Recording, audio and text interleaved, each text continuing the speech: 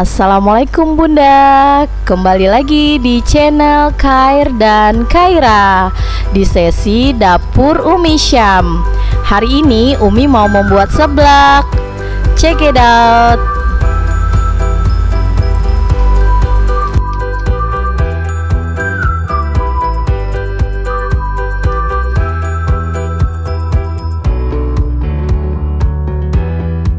sebenarnya bahannya nggak harus ini ya. Kita boleh pakai apa aja yang ada di rumah. Eh, kebetulan di rumah lagi ada kecamba jadi saya mau pakai kecamba. Dan ini ada ada apa bi? Ini namanya bi? Sayur apa? Pagoda. Bayam Ah, pagoda.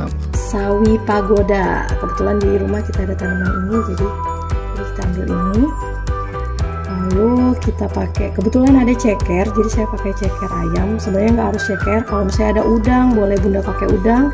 Kalau mau pakai ayam juga boleh pakai ayam. Ini saya pakai juga sosis. Nah ini ladanya nanti sedikit aja. Lalu saya pakai gula ini karena eh, lebih aman ya buat suami saya. Kalau misalnya kita mau pakai gula biasa juga nggak apa-apa ini saya pakai sambal sasetnya satu butir telur. Lalu saya pakai kecap manis ada kecap asin nanti sedikit aja. Terus ada micin jamur. Hmm, terus ini saya pakai pempek ya. Kalau nggak pakai juga nggak apa-apa karena inti buat seblak itu adalah eh, kerupuk. Kerupuknya ini yang udah saya rendam ya. Dan bawangnya bawang dan kencur ini. Jadi saya pakai ini bawang putihnya agak kecil-kecil jadi sekitar dua biji lah ya. Dan bawang merahnya saya pakai tiga sama kencurnya sekitar satu dua setengah lah. Oke bunda selanjutnya kita akan coba membuat seblak. Oh iya bunda tadi Umi lupa karena kita mau buat seblaknya yang pedas itu kalau mau pedas kita jadi butuh cabai ya. Di sini saya pakai cabenya sesuai selera aja ini karena saya takut terlalu pedas. Jadi saya pakai tiga cabai burung dua cabai merah dan pakai sedikit aja ya garam buat memudahkan kita buat menggilingnya Oke bunda, sekarang kita akan mulai menggiling bumbunya dulu ya Yang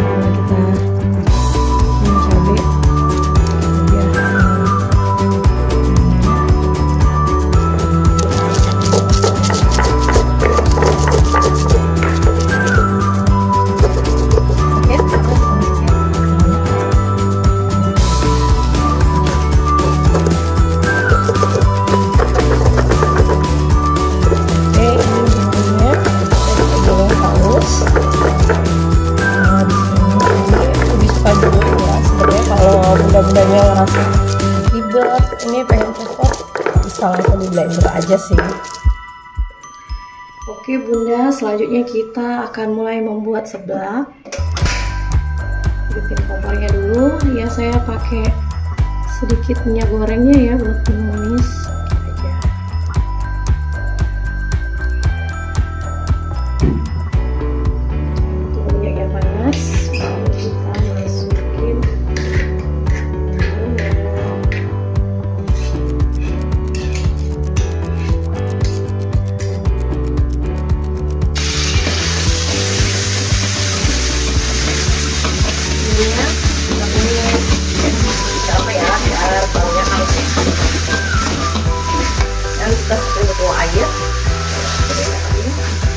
Di sini nanti kita bisa nambahin air sesuai selera aja bunda. Kalau misalnya pengennya seblaknya kering, berarti airnya sedikit aja. Tapi kalau misalnya mau yang kuat, berarti banyak. Atau mau setengah basah, jadi.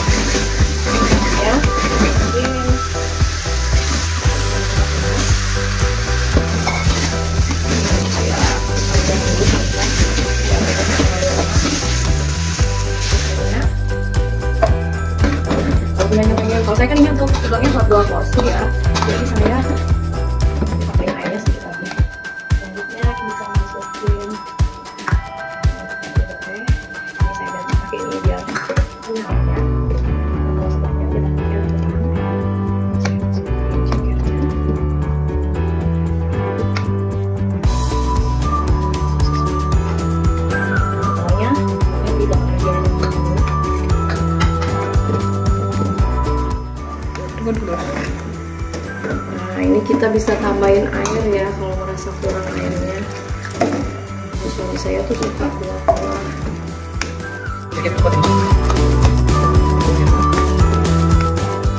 oke sekarang kita mau masukin bumbunya ya. Masukin lada. Lada dulu. Saya sih sedikit aja ladanya. Buat yang pengen pedas bisa dibanyakin saya nggak tahan soalnya. Tambah suka perih selanjutnya kita masukin sausnya. Pokoknya mudah banget nih bunda. Pertama bahan sesuai yang ada di rumah lalu kita isiannya suka-suka kita aja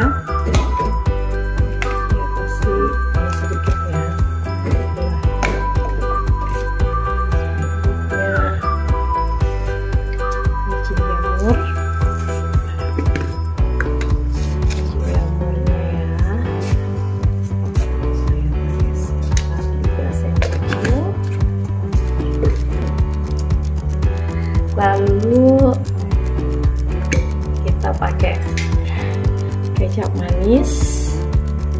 Kita sedikit-sedikit aja dulu ya bunda ya.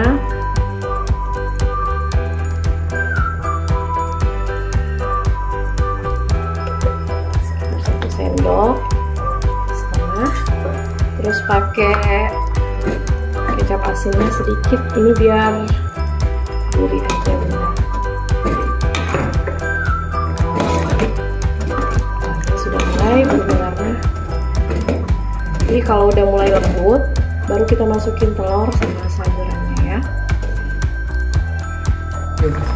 Oke bunda selanjutnya kita masukin telurnya ya. Tapi ada teknik kalau saya nggak mau diaduk semua jadi saya taruh di pinggir telurnya. Jadi saya aduknya dari pinggir. Jadi kuahnya itu nggak kental-kental. Kental-kental karena telurnya ya kita biarin. Biar memasak dulu lalu kita masukin ya sayurannya.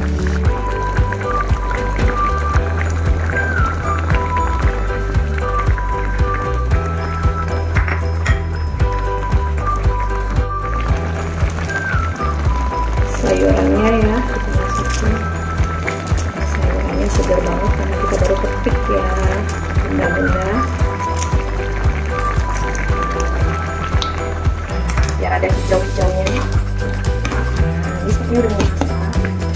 misalnya punya merasa kuahnya kurang tinggal ditambahin aja kita cicip ya bunda ya apa yang kurang garam atau apa bagi saya ini udah cukup ya Nah, selesai, kompor dimatiin. Selanjutnya kita masukin.